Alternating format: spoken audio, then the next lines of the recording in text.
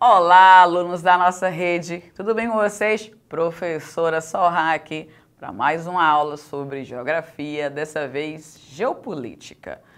Prestem atenção, a professora trouxe o slide, tá passando aqui em cima, fica de olho, tá? Para você ir acompanhando o meu raciocínio e a gente compreender bem essas informações. Vamos lá? Vem comigo? Então, olha só. A nossa aula de hoje fala sobre geopolítica mundial, só que eu trouxe dois recortes mais objetivos, tá? Eu quero que vocês entendam primeiro essa questão para aí vocês terem é, embasamento para poder entender e se perceber dentro desse contexto mundial que a gente está vivendo. Então, olha só, eu tenho aqui, por exemplo, informações sobre o que, que é a bipolaridade e o que, que é a multipolaridade. Tranquilo? Então vamos lá, a gente começa com os nossos objetivos dessa aula, que é mais vocês entenderem assim, o conceito tá, de geopolítica mundial, identificar as principais características da bipolaridade e da multipolaridade e analisar as implicações aí dessa questão da multipolarização dentro da política global atual. Então a gente começa falando o seguinte, ó, aqui na telinha de vocês está aparecendo o conceito, vem comigo. A geopolítica mundial refere-se ao quê? Às dinâmicas de poder. Influencia, influência e relações entre os diferentes atores globais, sejam eles países, organizações internacionais ou outras entidades que impactam as relações entre as nações. A bipolaridade vem de bi, dois, dois polos, dois lados, dois centros de poder. Durante a famosa Guerra Fria, o mundo foi caracterizado, caros amigos, por um sistema bipolar, que era dominado aí por duas potências, né? Quem que eram? De um lado os Estados Unidos e do outro os soviéticos, liderados aí pela Rússia. Esse período foi marcado por uma intensa rivalidade ideológica, por isso Guerra Fria. Não houve conflitos bélicos, tiro, bomba, não houve. Foi mais uma questão de mostrar quem era o melhor, provando, fazendo coisas bem loucas assim. É nesse momento, por exemplo, que a gente tem a corrida armamentista, a corrida espacial, o homem pisando na lua. Então era uma competição para mostrar quem era o melhor. Tá? E por isso teve tudo isso nessa época. Além disso, né, as nações ao redor do mundo frequentemente se alinhavam com uma ou com outra, por isso poder. Os outros países que concordavam e se alinhavam com os Estados Unidos pertenciam à sua influência. E os outros países que é, acreditavam mais no sistema né, dos soviéticos se alinhavam a eles. Então, por isso, dois polos. O mundo era praticamente é, um grupo, né, um grupão de países que ia com um e um grupão de países que ia com outro. Formaram aí alianças e blocos com isso, como a famosa OTAN, liderada aí pelo tio Sam, e o Pacto de Varsóvia, liderado pelo USSO, pela União Soviética. O que, que foi o Pacto de Varsóvia? Só eu trouxe aqui de forma bem objetiva, tá? Vamos ver comigo aqui, pessoal. O Pacto de Varsóvia foi uma aliança militar criada em 55 pela União Soviética como uma resposta à criação da OTAN pelos Estados Unidos. A organização do Tratado do Atlântico Norte, né, que é a OTAN, é uma aliança, em inglês é NATO, é, é uma aliança militar criada em 49 pelos Estados Unidos. Percebe a diferença de tempo? Os Estados Unidos criou em 49 a OTAN e aí como resposta a União Soviética criou o Pacto de Varsóvia. A OTAN, a gente sabe, né, que lidera até hoje, né, não se desfragmentou, ao contrário do Pacto de Varsóvia, que acabou virando a SEI, que é a Comunidade dos Estados Independentes, ainda liderados pela Rússia, mas de princípio, de início, né, a gente tinha, olha só a diferença, é, o Pacto de Varsóvia, a gente tinha Albânia, Bulgária, né, aqueles países ali mesmo da da União Soviética, mesmo quando se dissolveram. Por falar em dissolução, a gente vai ter a dissolução aí do Pacto de Varsóvia em 91, tá bom? Após a dissolução também da União Soviética. Já a OTAN tinha uma porrada de membros. Olha o tanto que eu coloquei aqui pra gente. Albânia, Alemanha, Bélgica, Bulgária, Canadá, Croácia, Dinamarca e por aí vai. Então essa galera toda reunida se articulava em conjunto aí para organizar o jogo de xadrez que é a geopolítica mundial. Ser uma ideia, esse mapa que está aparecendo aqui em cima na telinha, atrás da professora, evidencia para vocês a expansão da OTAN desde 1997. Então, observe, de azul no mapa, eu tenho os países que ingressaram na OTAN antes de 97. E de amarelo no mapa, eu tenho os países que ingressaram na OTAN a partir de 97. Vocês estão conseguindo observar que os membros da OTAN, a OTAN como um todo, ela foi avançando gradativamente sentido leste do mundo, ou seja, ela foi chegando próximo da União Soviética. Isso começou é, a incomodar um pouco né, um dos principais líderes políticos do leste do mundo, que é o Vladimir Putin. Então, uma das coisas que ele justifica a guerra que ele promoveu, ele promove lá na Ucrânia, foi esse convite, né, esse suposto convite de ingressão da Ucrânia ao, é, ao tratado, ao pacto da OTAN. Beleza, gente. O que mais que eu trouxe aqui pra gente? Características dessa bipolarização toda. Divisão do mundo em dois blocos principais, é, capitalismo e o socialismo.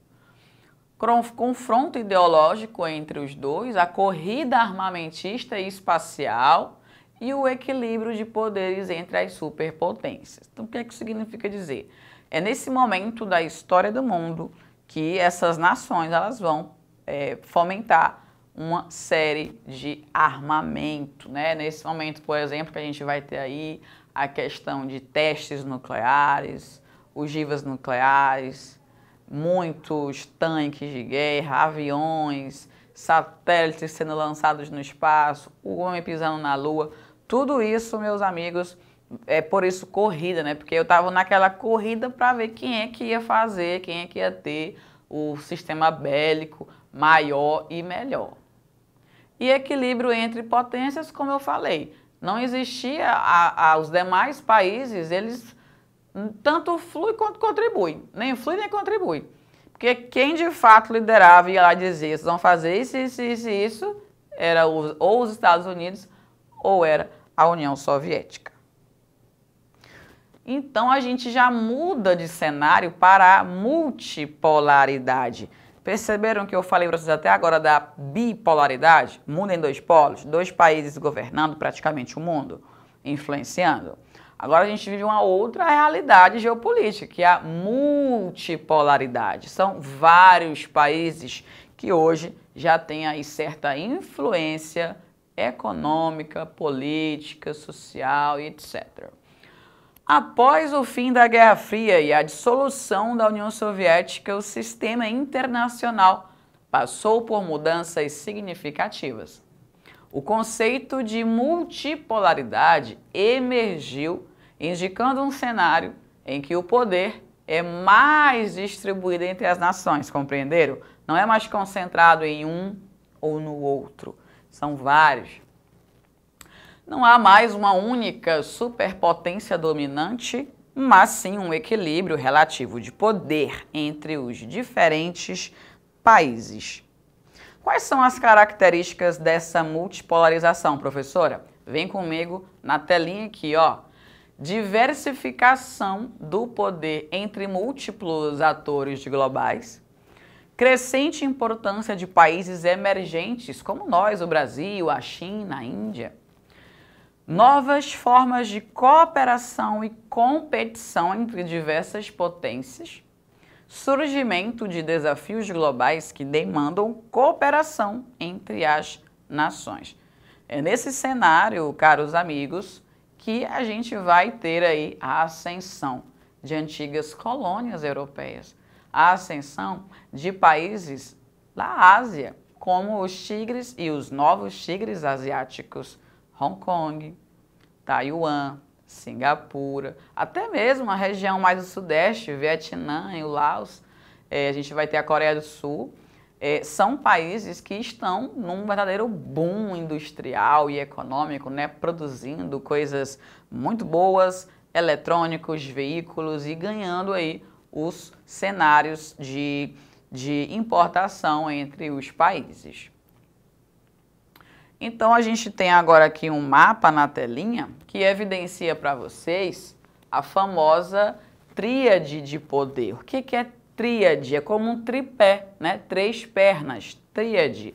O mundo estava dividido, né? E até hoje tem, na verdade, essa tríade de poder é assim que funciona. Existe uma área de influência ainda muito grande em relação a esses três. Então, como que funciona? A América, ó, percebam aqui, ó, a América, né, esse círculo cinza mais escuro, é influenciada, tá, principalmente pelos Estados Unidos. Por isso tem uma estrelinha lá perto do nome do país.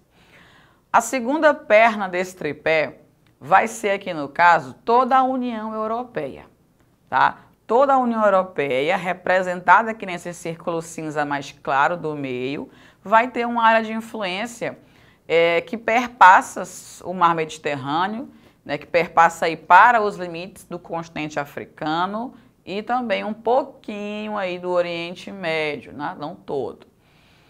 E a terceira perna do nosso tripé vai ser aí o Japão, tá? Que influencia toda essa área que está destacada no mapa na cor amarelo. Então o Japão vai influenciar muitos países no Sudeste Asiático, na Ásia e na Oceania. Agora eu quero falar um pouco mais para vocês sobre os BRICS, né? O que, que são os BRICS? São esse, esse, ele, os BRICS são um grupo que está causando um certo pânicozinho entre os famosos G7 e G20. A gente está incomodando. Por quê? Quem que faz parte dos BRICS? Primeiro que os BRICS ainda não são caracterizados como bloco econômico, tá? Não é um bloco, como a União Europeia e o Mercosul. É um grupo, os BRICS. Um grupo onde as principais nações que estão emergindo, ou seja, que estão evoluindo economicamente, se industrializando, ganhando cenários e tal. Então a letra B é de Brasil, o R de Rússia, o I de Índia, o C de China e o S de South Africa, que é a África do Sul. Recentemente nós tivemos aí né, o anúncio de novos integrantes, novos membros, então a sigla vai passar a ser provavelmente BRICS Plus, né, o sinalzinho de mais. E como que vai ficar, professora? Eu trouxe aqui esse mapa, tá? Que eu peguei do site, um site muito relevante dentro da geopolítica mundial. Ah, como que ficou o mapa dos BRICS com os novos integrantes? Então nós temos aqui os países atuais, né? Brasil, Rússia, Índia, China e África do Sul, os novos integrantes. Seria a Argentina, botei um X aí porque o atual presidente eleito, Javier Milei, disse não vamos mais. Obrigado de nada. Aí nós temos a Arábia Saudita, está confirmada, o Egito, Emirados Árabes, Etiópia e o Irã. Percebam que no mapa aqui em cima está aparecendo para vocês, tá? De, de laranja os, os países que estão entrando, que vão entrar a partir desse ano agora é, é, nos BRICS. Perceberam que nós temos uma grande concentração de países que são potências energéticas, ou seja, grandes produtores de petróleo, e junto com o Brasil, que também produz muito petróleo, os BRICS vão se, vão se tornar um dos grupos de maior relevância no cenário energético. A gente tem também uma coisa interessante que são países africanos entrando. A gente tem, por exemplo, o Egito eh, e a Etiópia, tá? E do Oriente Médio, países aí como os sauditas, a Arábia Saudita, os Emirados Árabes e o Irã. Muitas pessoas ficaram assim um pouco preocupadas porque esses países que eu citei aqui lá do Oriente Médio são países que são governados por ditadores, né? Pessoas meio que não, não têm assim certa democracia e tal. Mas eu acredito que o grupo vai conseguir resolver essa questão e fazer com que seja aí um excelente ganho para quem fazer parte né, do famoso BRICS Plus. Tem um monte de países querendo entrar. E os eleitos foram esses que a professora acabou de citar para vocês. Pessoal, espero que tenha ficado claro.